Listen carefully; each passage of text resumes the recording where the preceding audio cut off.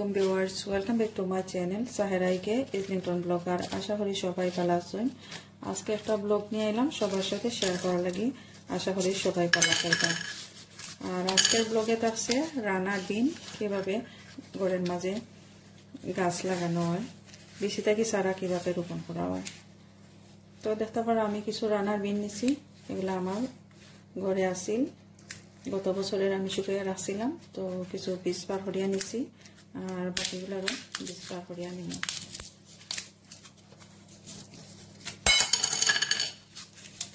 তো আমি সবগুলা বেশি থেকে সারা করতাম নাই, কিছু বেশি করমো আর কিছু রাখি দিব আমার অলরেডি কিছু সারা করা আছে, তো আমি এখানে মাঝে কিছু নিলাম।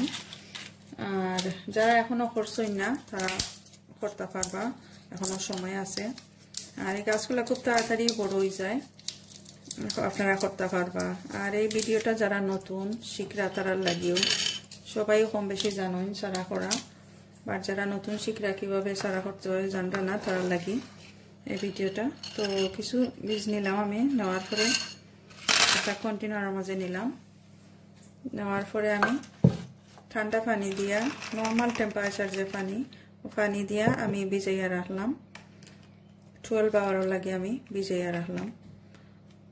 রাখার পরে আমি বাকি প্রসেসটা দেখাইমু কীরকম কিতা করি আর।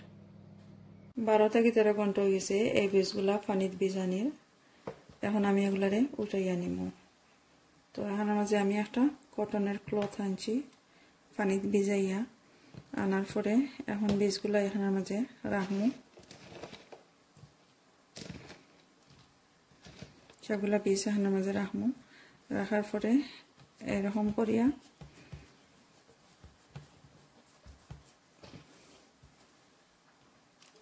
এই বীজগুলো আমি একটা ব্যাগের মাঝে রাখি দিব। দেখাই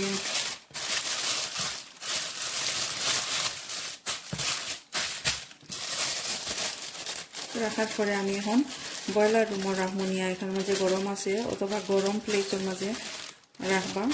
তো রোদ বাড়ানোর পরে আমি দেখাইমো কীরকম হয়েছে তো রানার বিনসের সিটগুলো আমি ব্রয়লার রুমের মাঝে রাখছি।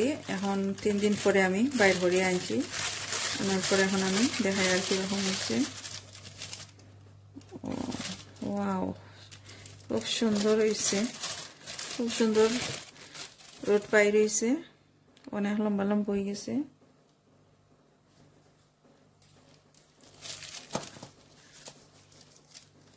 সবগুলার মাঝে বাইর হয়েছে আর অনেক লম্বা লম্বা হয়ে গেছে, বাইর হওয়ার পরে। তো এখন আমি এগুলা টবের মাঝে লাগাইমো। তো এখানে একটু বড় সাইজের একটা টব নিয়েছি আমি। নেওয়ার পরে বেশিগুলাই টবের মাঝে নিমো এখন।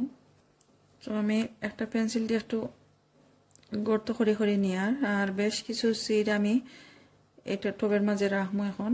আর একটু বড় হইলে আমি সেপারেট করব আর এখন বেশ কিছু সিড এখানের মাঝে রাখব এই যে, এই রোদটা নিচের দিকে আমি দিয়া দিব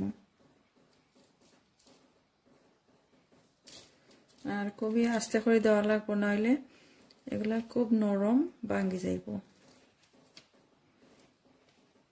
ভাঙ্গি গেলে আবার গাছ উঠতো না নষ্ট হয়ে যাব তো আমি প্রতিটা বীজ এইভাবে লাগাই নিব তো বেশ কয়েকটা বীজ আমি এখানে মাঝে লাগাইছি। তো উপরের দিকে আরও কিছু কম্পোস্ট দিয়া দিব এখন উপর দিকে আমি কিছু কম্পোস্ট দিয়া দিয়া বেশিগুলা কম্পোস্টের ভিতরে থাকতো, বাইরে থাকলে আবার গাছ উঠতো নাই। এখন আমি কিছু পানি স্প্রে করিয়া দিব স্প্রে বোতল আনছি, তো আমি এইভাবে স্প্রে করিয়া দিব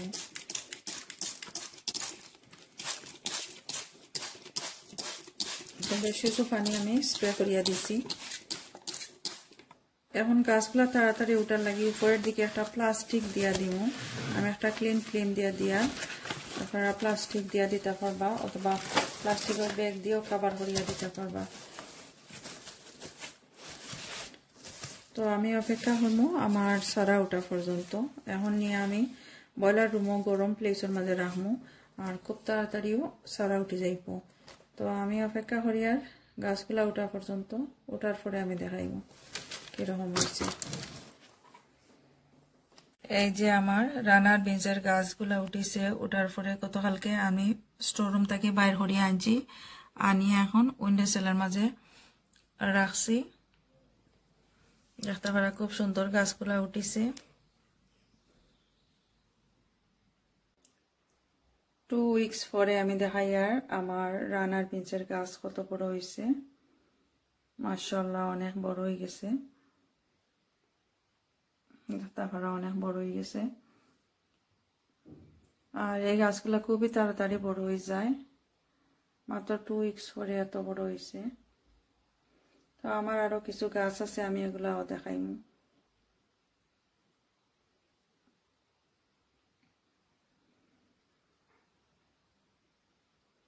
এই যে আমার টবের মাঝে আরও কিছু রানার বিনসের গাছ আছে। দেখতে পারা মোটামুটি লম্ব হয়ে গেছে। কিছু গাছ আছে, আর এই গাছের পাতাগুলো আমি নিচের যে পাতাগুলা, গুড়ার পাতা, ওগুলো আমি কাটিয়া দিছি, কাটিয়া ফালাই দিছি।